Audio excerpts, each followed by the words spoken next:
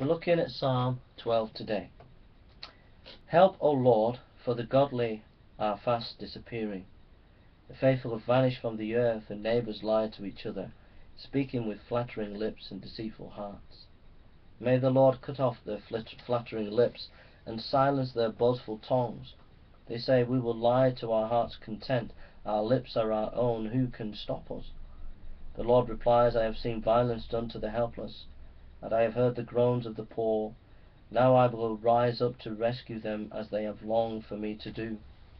The Lord promises are pure, like silver refined in furnace, purified seven times over.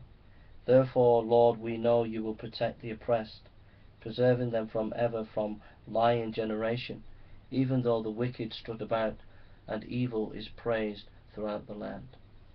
Take care now.